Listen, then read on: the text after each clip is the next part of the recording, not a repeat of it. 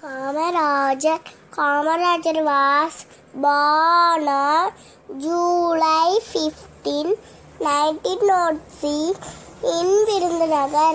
His father Kumarasamy and mother Sivagami Ammal. Kamarajar was the Chief Minister of Tamil Nadu during 1954 to 1963.